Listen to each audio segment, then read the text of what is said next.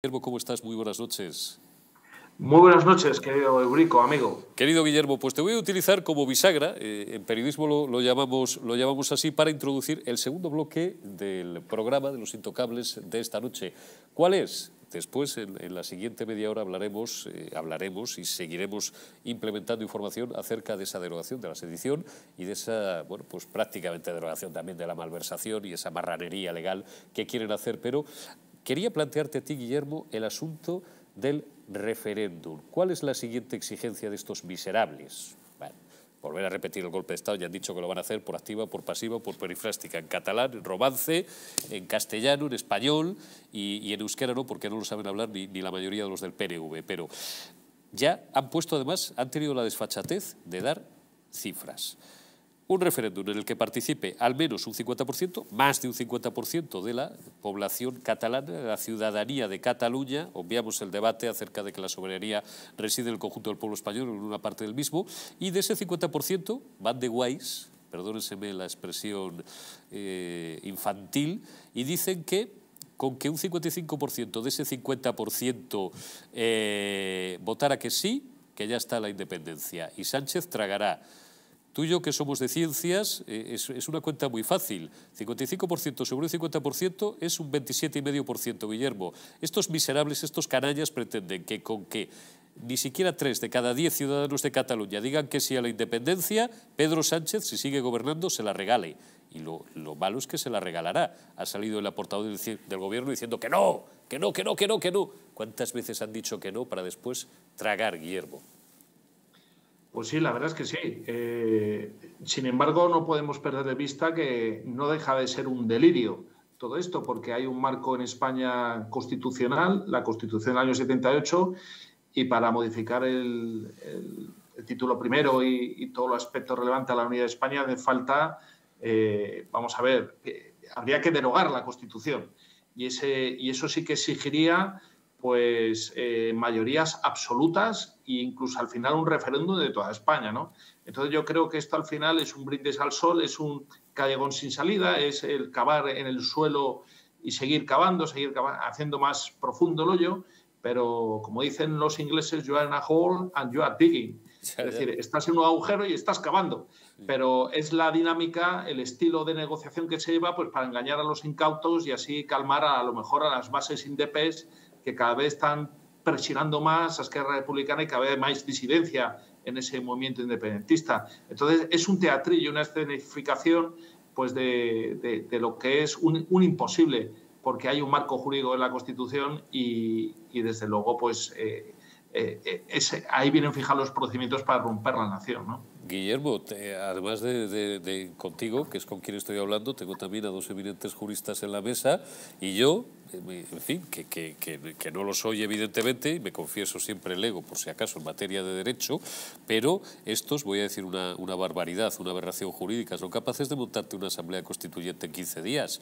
Eh, es un poco por arrimarte el toro al caballo. Llevamos mucho tiempo ya pensando que hay un, perdón, hay un marco, eh, bueno, pues constitucional, por supuesto, y, hay una vertebración eh, muy compleja, porque España no es Botswana, afortunadamente, dentro de lo que eh, venimos en llamar Estado de Derecho, al que Pedro Sánchez, voy a hacer el chiste fácil, el de toda la vida, quiere convertir o ha convertido ya en un Estado de desecho. ¿Qué fórmula pueden, no sé, se les puede ocurrir a estos tipos para que esto no sea un brindis al sol? Es que llevamos, también dijimos lo mismo con la sedición, Guillermo y dijimos lo mismo con la malversación y hemos dicho lo mismo tantas veces. Yo llevo muchos, varios días muy pesimista, camarada, lo sabes. Eh, no lo sé, a lo mejor. Ayer hablaba con Rosa Díez en, otro medio y me decía, estás muy pesimista. Digo, pues sí, es que, y como además veo la pasividad del paisanaje de más de la mitad del pueblo español, que, y ayer citaba a Harcha, que lo único que quiere es su pan, su hembra, perdón, es literal, y la fiesta en paz, pues, pues no sé qué esperanza nos queda. Sí, ciertamente. La verdad es que la reforma del Código Penal eh, ha sentado muy mal, realmente, y sobre todo pues, a, los, a los grandes juristas de este país. ¿no? Incluso hasta los propios socialistas están escandalizados porque todos sabemos que las normas tienen un carácter general y abstracto, que van dirigidos a, un, en este caso, a unos convictos en carácter general y abstracto. ¿no? Entonces, se ha hecho una reforma específica para personas en particular y eso es una aberración de un punto de vista de hecho penal, pero estamos en, en, en lo que son delitos. ¿eh? y, eso pues lo están haciendo de, de, una manera pues bastante digamos, apresurada y, luego ya habiéndose quitado la careta. Pero claro, el tema de la, de la reforma de la Constitución a los efectos de referéndum de secesión, esto eh, ahí ya sí que hay, yo creo que un obstáculo, desde luego, insalvable si lo que pretenden hacer es seguir la vía, eh, digamos, reglamentaria o legalista, la legalidad vigente. Si lo que se intenta es, como parece que también se puede en esa línea, desbordar. Eh, eh, o utilizar atajos para llevar a cabo reformas constitucionales, claro, nos vamos a plantear un escenario pues bastante, bastante conflictivo, lo cual no sería improbable eh, considerando los precedentes que está estableciendo este gobierno y en concreto el presidente del gobierno.